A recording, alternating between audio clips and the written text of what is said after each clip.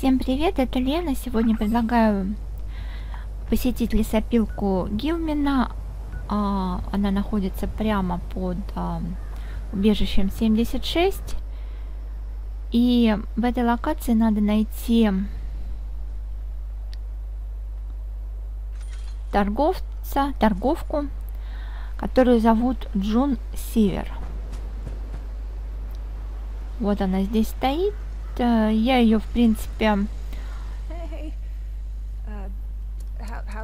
давно заприметила, но как-то особо не смотрела, какой у нее ассортимент. Обратите внимание, она продает несколько видов окраски для оружия и один вид окраски для рюкзака. Окраску для оружия можно посмотреть на том оружии, которое она продает. Это 10-миллиметровый бейсбольная бита и помповый дробовик. Давайте посмотрим, как эти окраски выглядят. Вот здесь вот можно сразу же рядышком посмотреть. Итак, пушечная бронза.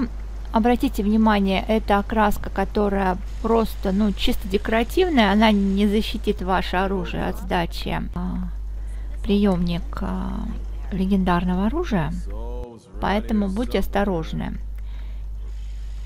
Вот, бейсбольный биток, краска пушечная бронза, волтек и ржавчина. Вот ржавчина, кстати, мне понравилась. Красивенькая такая. И надпись такая 76.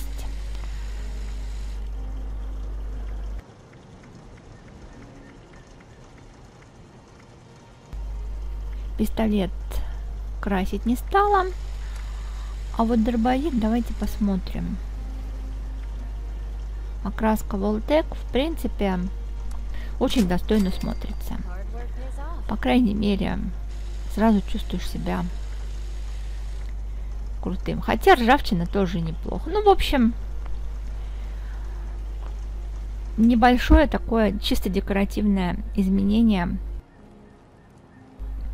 Тут же у нас находится верстак для брони. Можно модифицировать рюкзак. Красок, точнее внешних для рюкзака у меня довольно-таки много, но сейчас найдем.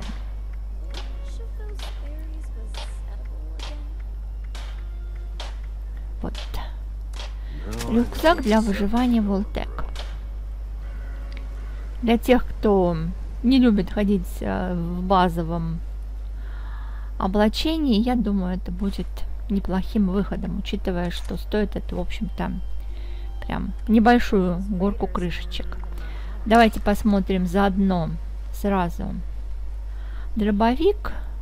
Вот так вот он выглядит. И биту.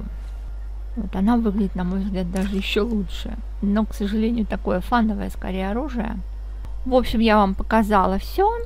Обратите внимание на эту локацию. Не, забудь, не забудьте туда заскочить. Пока-пока.